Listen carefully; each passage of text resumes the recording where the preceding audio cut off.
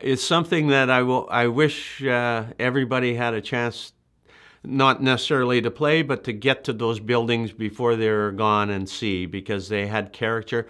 I uh, not taking anything away from the arenas we have today, but the old Boston Garden when you'd walk in there and uh, the evening after a Celtic game, and and they would have the dogs running around clearing out the people that wanted to hide in there and get a Bruin game in in the night uh, you go to the Chicago Stadium and you'd walk down 13 steps to your dressing room, and you'd come out when you came out for the warm up.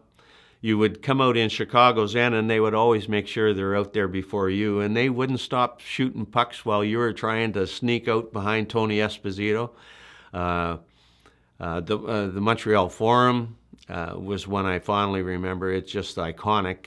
Uh, the Maple Leaf Garden uh, with the history that's on the walls there and, and the, just the structure of the building. I wish everybody had a chance to visit all of those. Uh, Madison Square is still there, Madison Square Garden. You imagine that being there forever.